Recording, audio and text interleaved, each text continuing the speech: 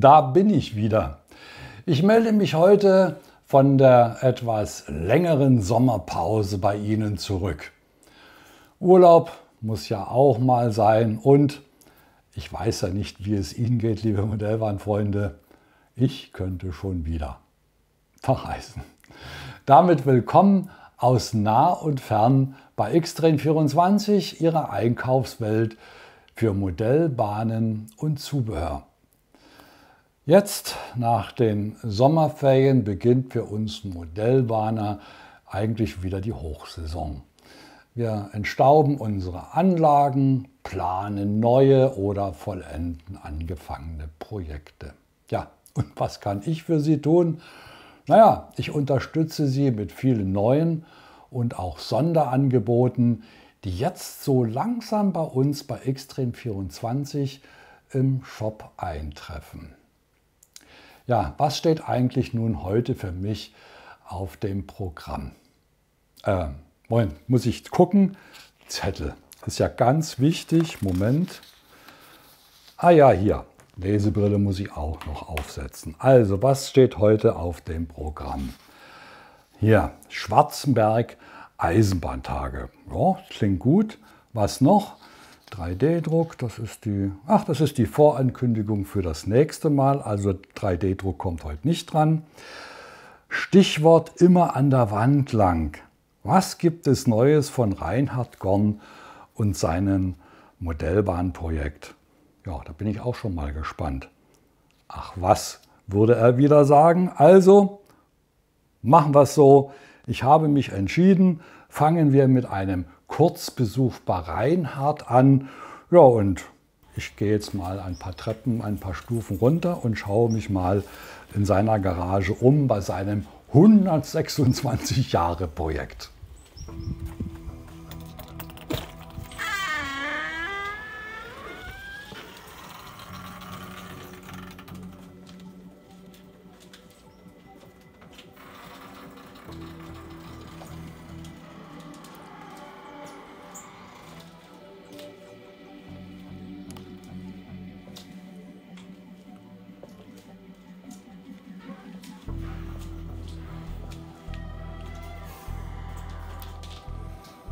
So, liebe Freunde, jetzt bin ich gleich.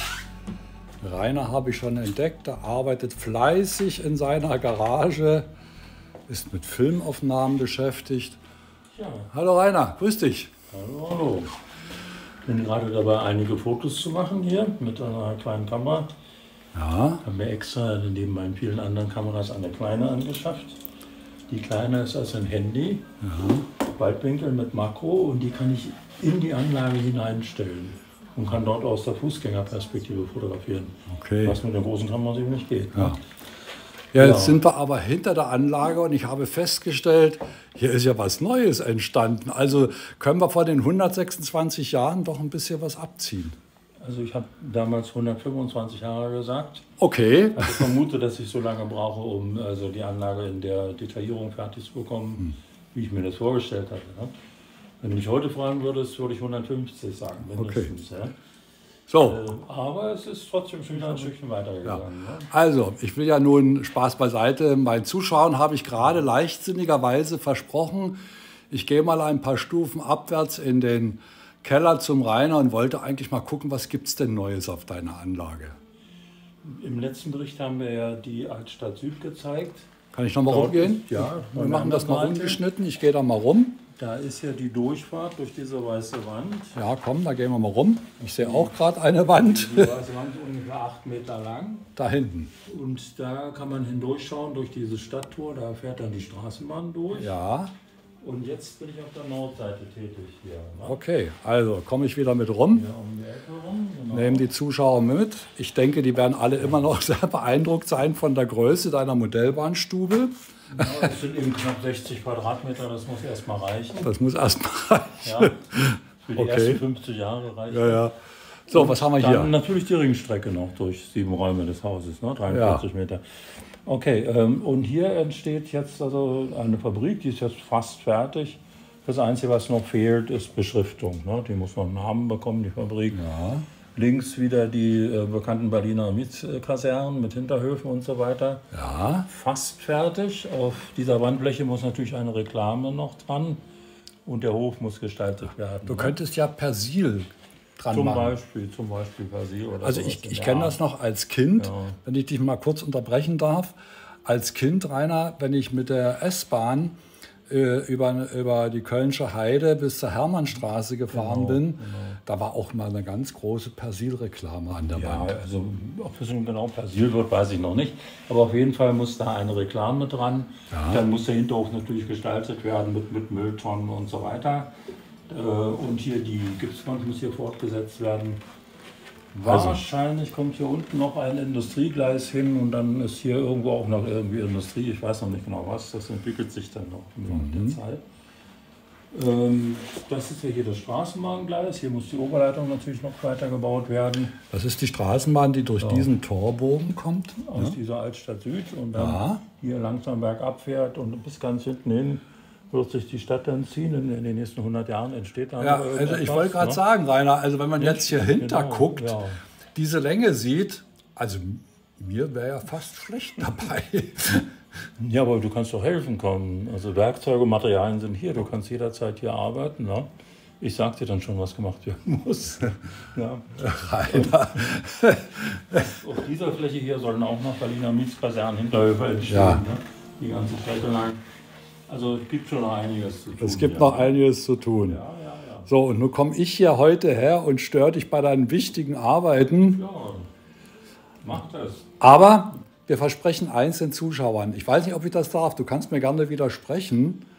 Zum Jahresende wollen wir natürlich wissen, was ist denn nun alles wirklich fertig geworden. Kann man, kann man das so machen? Ja, sicher. Ich werde jetzt in dieser Ecke erstmal weiterarbeiten. Also hier fehlen ja noch ein paar Kleinigkeiten. Also wie gesagt, die Reklame dann natürlich die Hinterhofgestaltung. Oben vielleicht noch mehr Schornsteine, Fernsehantennen, ja. vielleicht auch einige Dachluken, die geöffnet sind. Ja. Also so ein paar Kleinigkeiten fehlen ja. schon noch. Ne? Ähm, dann hatte ich gesehen, du hast ja auch Einzelhäuser gebaut und Fassaden nochmal. Ähm, du hast uns freundlicherweise auch ein paar Bilder zur Verfügung gestellt, genau, die, die wir jetzt auch mal, während wir noch sprechen, einblenden. Genau. Es ist eigentlich für mich immer eine Brezel und begeistert mich immer wieder, diese, mit welcher Akribie und, und Genauigkeit du diese verfallenen Häuser eigentlich darstellst. Auch das ist nicht so einfach, oder? Naja, also ich benutze hier ähm, Silikonformen von Spörle, ja. ähm, Gips, äh, gieße die Teile aus Gips, ja. verändere die aber noch. Ich kann was zeigen. Ja, komme ich ein Stückchen mit, denn die Zuschauer interessiert auch sicherlich ganz nebenbei noch was hier. Gucken Sie mal, liebe Freunde, während der Rainer sucht. Das wartet ja auch noch auf Bearbeitung und Arbeit. Das ist schon unglaublich, was hier. Also rein technisch ist das fertig. Ja, technisch, aber. Alles fahrbereit, Elektronik, ja. alles funktioniert, nur die Gestaltung fehlt noch. Ja, genau. Das ist zum Beispiel so ein, ein Teil aus, äh, aus Gips gegossen, aus der Spörleform. Ähm, Spörle selbst bietet da äh, papierbedruckte Fenster an, die furchtbar aussehen im Vergleich zu dieser wunderbaren ja, Qualität. Ja, also habe ich mich entschlossen, die auszusägen, Loch reinzubohren, auszusägen, kleinen Millimeter stehen zu lassen dann hatte ich erst selbst Fenster entworfen. Ja. Dann hat Norbert Fieke, Modellbahnwerk, dann hatten ja. wir also Fenster entworfen, ja. die da eingebaut sind, in diesem Haus bereits. Die sehen natürlich noch echter aus. Ne? Einzelne Fenster sind dann beleuchtet, einzelne Zimmer. Ne? Mhm. Also es gibt noch genug zu tun. Aber wichtig ist für mich die Alterung, wenn man bedenkt, dass man Anlage so in dem Zeitraum, sagen wir mal so 1965 bis 1985 spielt, dann sind solche Gebäude ja 80 Jahre alt. Ne? Haben zwei Weltkriege überstanden, die können ja nicht aussehen wie neu. Ne? Das ist ja völliger Unsinn. Wenn man sich zum Beispiel hier dieses Gebäude hier anguckt, hier, ähm, ne, da ist vielleicht im, im, Krieg da ein Bombentreffer da eingeschlagen und das Dach ist nicht mehr ganz ja. rekonstruiert worden. Da wurde hier einfach nur ein Flachdach eingerichtet. Ne? Also das ist ja eigentlich ein Bausatz, den ich aber auch wieder verändert habe. Ja, ne? ja, das wollte ich gerade fragen, denn du hältst dich ja selbst bei den Bausätzen nicht an das, wie es gebaut werden soll, sondern du tust das nach deinen äh, Vorstellungen entsprechend verändern. Ja, das, also das soll hier ein, ein Fahrstuhl auf äh, äh. Gebäude sein, da oben noch ein Dachaufbau. Dann muss es unbedingt gealtert werden, das ist ganz wichtig, ne, dass ja. das nicht aussieht wie neu, das ist ja völliger. Unsinn. Und äh, ja, wie du siehst, gibt es noch vieles zu tun. Ne? Überall, wo man hinguckt, sieht man da irgendwas, was gemacht werden muss. Mhm. Ne? Aber naja, vielleicht gegen Weihnachten, vielleicht schaffen ja. wir das ja da wieder ein paar Fortschritte zu okay. zeigen. Ich werde mich bemühen. Ne? Du hast noch zu tun, das war das Stichwort für mich. Ich lasse dich jetzt wieder alleine, mache weiter. Wir freuen uns schon sehr aufs Jahresende, um dann mal in Gänze alles zu sehen. Reinhard, vielen Dank, dass wir reingucken durften. Mach's gut, Großer. Ja. Und du kommst helfen, ne? Ja, ich, ja, ja. Und, äh, ich komme helfen, das habe ich versprochen. Da wird es also auch Aufnahmen geben, das verspreche ich jetzt auch unseren Zuschauern, wie wir hier gemeinsam basteln, bauen und helfen. So, ich verlasse jetzt den Reinhard wieder mit seinem in seinem wunderbaren Keller. Ich lasse Sie noch mal teilhaben, liebe Freunde, an den bereits entstandenen bzw. fertigen Teilen der Anlage, wie wir sie allgemein kennen. So, und dann gehe ich also jetzt wieder ins Studio zurück und dann machen wir weiter im Programm, was ich Ihnen angekündigt habe, liebe Freunde. So. Soweit also der Kurzbesuch, die Stippvisite bei Reinhard und den Neuheiten auf seiner Anlage. Tja, ich sage es immer wieder, was da entsteht, ist schon absolute Spitze. Die Links zu den beiden vergangenen Filmen, zu Reinhard und Immer an der Wand lang, finden Sie in der Beschreibung zu dieser Sendung hier auf YouTube. So, und jetzt habe ich einen kleinen Film Jawohl. Von den diesjährigen stattgefundenen Schwarzenberger Eisenbahntagen für Sie vorbereitet. Die Langversion übrigens zu den Schwarzenberger Eisenbahntagen gibt es zum Tag der Modellbahn am 2. Dezember hier auf diesem Kanal zu sehen. Jetzt erstmal dieser kleine Appetitzappen. Tradition wird bei dem Verein Sächsische Eisenbahnfreunde e.V. Eisenbahnmuseum Schwarzenberg großgeschrieben. Nicht nur bei der Pflege und Wartung der Eisenbahnschätzchen, nein, auch in der Abfolge der öffentlichen Veranstaltungen. So findet jährlich immer zur gleichen Zeit, traditionell im Frühjahr zur Himmelfahrt oder Männertag, ganz wie Sie es mögen, die bekannten Schwarzenberger Eisenbahntage statt. Und in diesem Jahr bereits zum 29. Male. Na, wenn das keine Tradition ist? Die viertägige Veranstaltung lockt deshalb viele Eisenbahnfans aus nah und fern nach Schwarzenberg. Und das nicht nur der schönen Gegend wegen. Hier im historischen Rundlokschuppen stehen wahre Schätzchen und lassen dem Eisenbahnliebhaber das Herz höher schlagen. Und nicht nur große Eisenbahn ist zu bestaunen, auch die Modellbahner bekommen im Lokschuppen ihren Auftritt.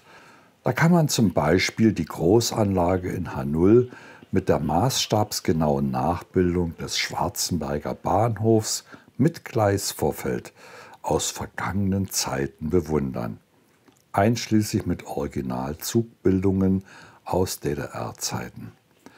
Da schlägt nicht nur dem Schwarzenberger das Herz höher. Gleich gegenüber begeistert eine Gartenbahn. Aus Mangel an Garten fährt sie deshalb auf Stelzen. Da kann man sie noch besser betrachten. Und die kleinen Loks machen dabei viel Dampf. Das, was eine Dampflok auch machen soll. Auch wenn es nur ein Modell ist. Und zur Freude des Betrachters ist auch ein Schienentrappi unterwegs. Der aber auch im Original gerne in Anspruch genommen wurde. Auf einem Nebengleis knatterte er für die Besucher durchs Gelände.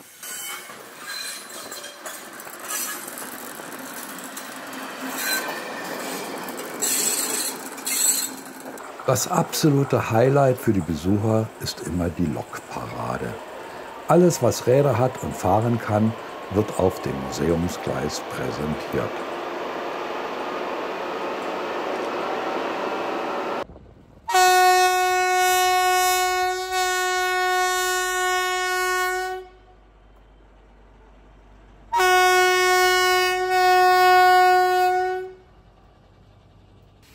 es dampfte natürlich auch.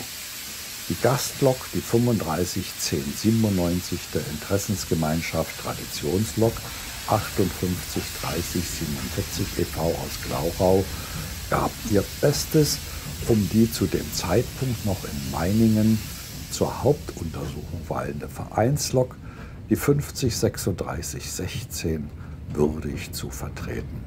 Ein kleiner Trost.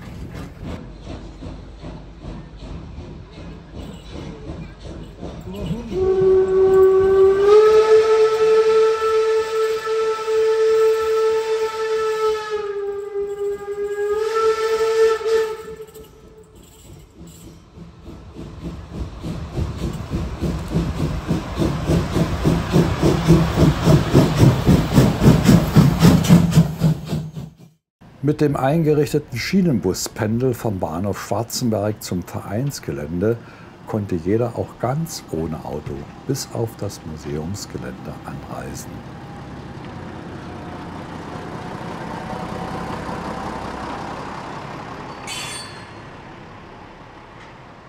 Ja, und wer schon immer mal wissen wollte, wie ein altes Stellwerk funktioniert, fand geduldige Erklärbären.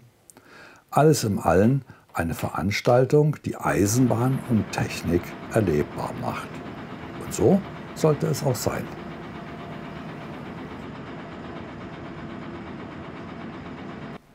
Also wenn Sie mich fragen, Schwarzenberg ist immer eine Reise wert. Apropos Reise. Wenn Sie jetzt am kommenden Wochenende noch nichts Besonderes vorhaben, empfehle ich Ihnen eine solche Reise zum Eisenbahnmuseum nach Schwarzenberg zu machen. Denn am 16. und 17. September öffnet das Museum zum Tag der Schiene 2023 seine Tore. Ja, und da wartet ein ganz besonderes Highlight auf Sie. Stichwort Willkommen zurück 503616. Ja, die vereinseigene Dampflok, auf die sie sechs lange Jahre mit eingebauten Zitterpartien verzichten mussten, ist wieder zurückgekehrt.